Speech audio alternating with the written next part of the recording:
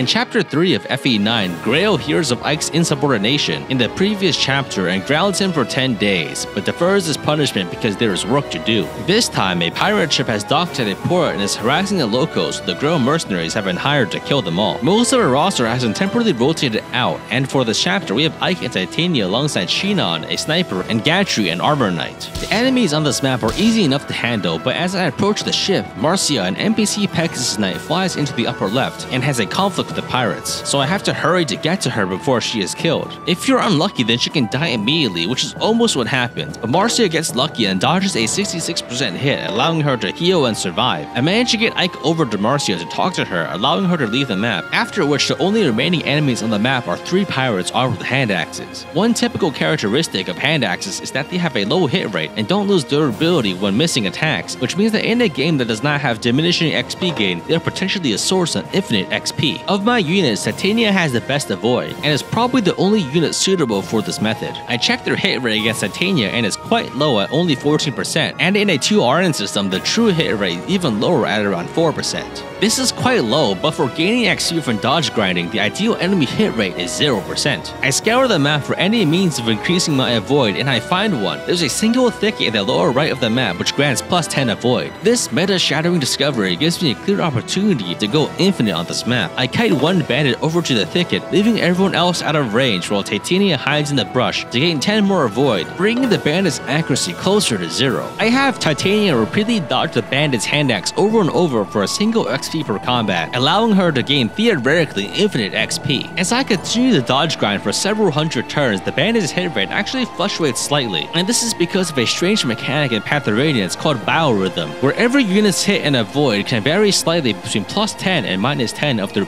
baseline. As Titania levels up, she gains enough stats to consistently dodge hand axes, even when her and the bandit's biorhythms are unfavorable. Several levels in, I feel comfortable enough with Titania's avoid to speed up the process by luring in the two other hand axe bands to throw hand axes at her while she hides in the thicket, allowing me to do the grind at roughly 3 times the speed. I continue this process until I reach turn 959 when Titania reaches her level cap at level 20, but even with all of this effort, her strength is still well below average.